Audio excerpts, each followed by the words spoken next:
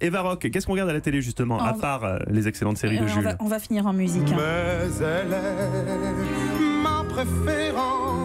Julien Clerc, c'est sur France 3 à 20h55. Julien Clerc qui était euh, dans Silex and the City. Il a fait une voix du dessin animé. Oui, mais qui n'a pas fait de voix dans Silex and the City Oui, Mathieu Noël, attention. Oui, c'est pas le plus prestigieux. Oui, il chantait Flamme, je vous aime. Voilà, euh, Flamme, sur l'invention du feu. Alors ce soir, vous avez rendez-vous avec Julien Clerc pour deux heures. Deux heures absolument délicieuses au cours desquelles le chanteur qui est si pudique accepte enfin de lever le voile à la fois sur son parcours, sur son processus créatif et un peu sur sa vie privée. Pas d'interview face caméra pour Julien Clerc, seulement sa voix qui habille des images d'archives. Je suis d'une génération qui a tout basé sur la chanson. Je me mets au piano et j'essaie d'inventer un truc qui sort d'on ne sait où. Je reviens toujours à ça parce que ça aura été la grande affaire de ma vie, euh, l'amour de la musique. Où il y a de la vraie musique, euh, je l'entends, enfin ça me va au cœur, mais directement.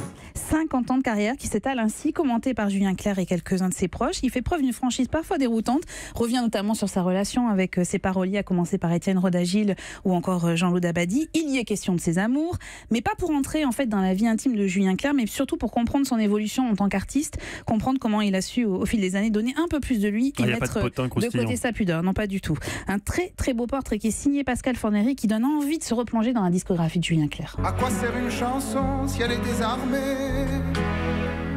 Me disaient des Chiliens, bras ouverts, poings serrés, comme une langue ancienne qu'on voudrait massacrer. Julien Clerc qui sera euh, en direct dans la matinale avec Nico Saliagas à 8h35 euh, pour évoquer évidemment euh, cette, ce documentaire dans la séquence C'est votre journée. Ah, un très bon documentaire, donc vous vous retournez.